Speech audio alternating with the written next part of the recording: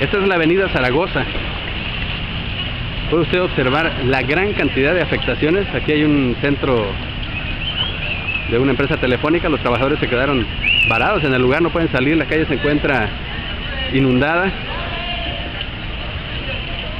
Y se puede, puede usted observar eh, varios carros. Aquí podemos contar 1, 2, 3, 4, 5, 6, 7 vehículos de este lado que se encuentran hundidos.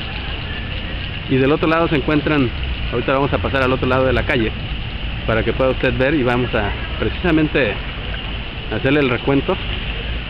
Allá junto a esta negociación de pollo frito se encuentra un vehículo. Hay personas ahí también observando la inundación. Aquí frente a nosotros está otro más. Hasta ahí son dos. Y ahí hay dos más. Y algunos de los que se encuentran ya en una parte que no está tan inundada también resultaron afectados en sus máquinas y no pueden encenderlos, de acuerdo con lo que escuchábamos con las personas que resultaron afectadas.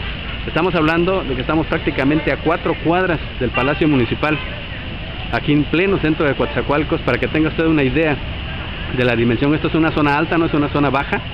Aquí los problemas son de que simplemente las cuencas colapsaron, de acuerdo con lo que informa Protección Civil, y ya no hubo manera de que esta agua se desahogara y pudiera salir hacia la playa o hacia la zona baja de la ciudad o al río Coatzacoalcos. Y esta es la situación y prácticamente no hay un avance, no se nota que esté disminuyendo el nivel del agua hasta este momento.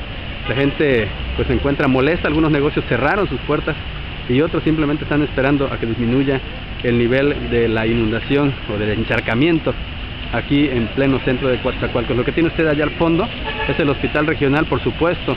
También esta zona en materia de vialidad se encuentra colapsada.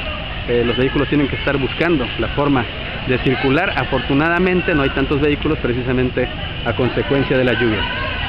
Pero hay, hay reacciones, reacciones airadas de la gente a consecuencia de esta inundación. Es el segundo reporte para Cuatza Digital. Crispín Garrido Mancilla.